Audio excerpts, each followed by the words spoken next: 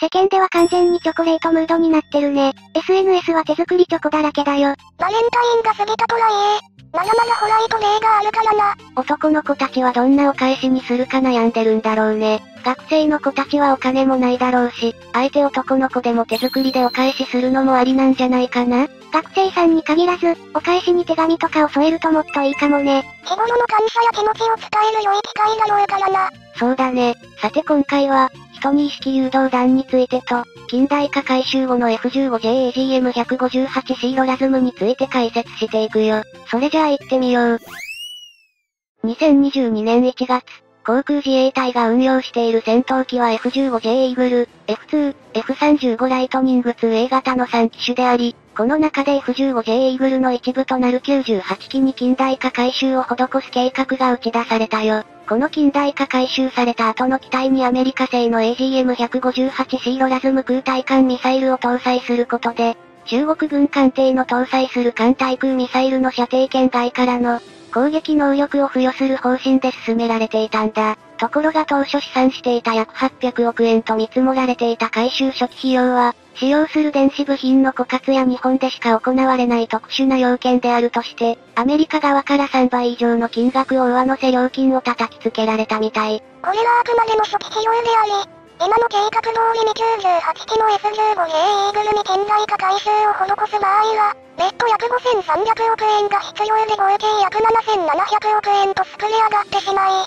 1機あたりにかかる回収費が80億円近くにもなる計算となってしまうぜ。ここまで金額に乖離が生じてしまったため、F15J イーグルの近代化回収自体を中止するべきだという極論が囁かれており、現時点では踏み切れない日本側は、AGM158C ロラズム対艦ミサイルへの対応を見送る公算が必然的に高まってきているね。しかしながら近代化改修の費用をどうにか圧縮して、日本側の現状で許容できるレベルの金額まで引き下げることが目的となるわけなんだけど、費用面以外に AGM158C ロラズム空対艦ミサイルを代替する手段が必要となってくるんだ。今のところ有力視されているのが陸上自衛隊で実戦配備を進めている、人に意識地対艦誘導弾をベースとして作られる国産の空対艦ミサイルの実用化であり、既存の防衛開発を本格化させる方針を立てているよ。この人に意識地対艦誘導弾は車両搭載型の発射元によって運用されるもので、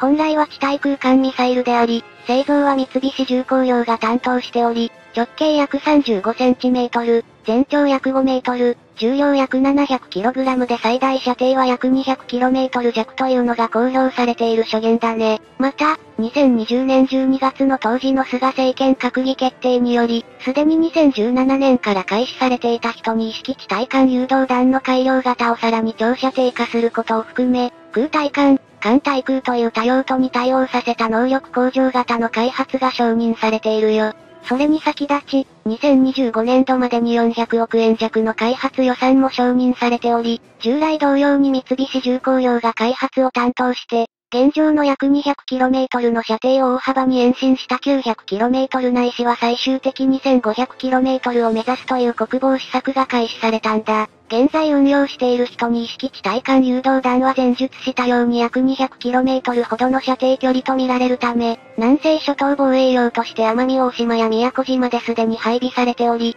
次に石垣島にも配備が予定されている段階にあるみたい。地対艦だったミサイルが一気に 900km の射程距離に延伸するとなれば、九州内陸部へ配置しただけでも南西諸島への防衛が可能となる上、1500組が実現したならば現在問題となっている中国に対する抑止力ともなり、さらに部隊配置の自由度が向上すると思われ非常に有効な兵器となるだろうな。こうした射程距離の延伸が実現化してしまえば、あえて戦闘機に搭載して使用する高額な空対艦ミサイルでなくとも南西諸島防衛の要となりそうだが、アメリカ製の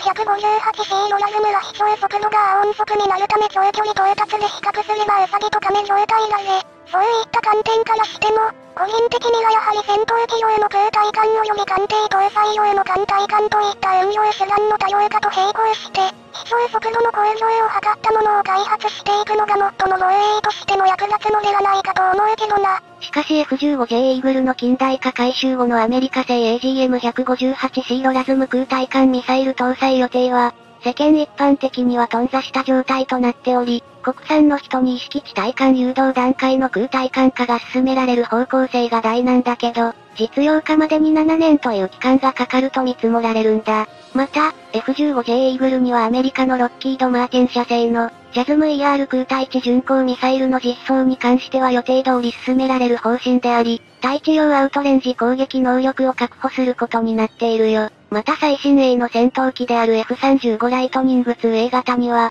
ノルウェーコングスベルグ社製の JSM 空対艦ミサイルの実装も行われる予定であり、AGM158C ロラズム空対艦ミサイルが頓挫した分の穴を補うことが期待されているね。敵が保有する対空ミサイルの射程圏外から攻撃可能なミサイルのことをスタンドオフミサイルと呼んでおり、こうした複数種類の空対艦空対地ミサイルの戦闘機への搭載を目指しているんだけど、一方では日本独特の批判の声もあるのが現状だよ。どういう批判が上がっているのかな？どういったものかというと、主として空対地ミサイルの長射程化は敵地攻撃能力の獲得目的が強くなってしまい、選手防衛を旨とするはずの自衛隊の装備として攻撃的イメージのある兵器で、ふさわしくないとの声が一部の政治家から上がっている点だね。こうした議論はいつも通り日本の野党側から唱えられているんだけど、政府が自衛隊の理念から外れてしまって攻撃的な兵器の取得を強引に進めようとしているかのように、悪質な印象操作を行っているように映ると言っているんだよ。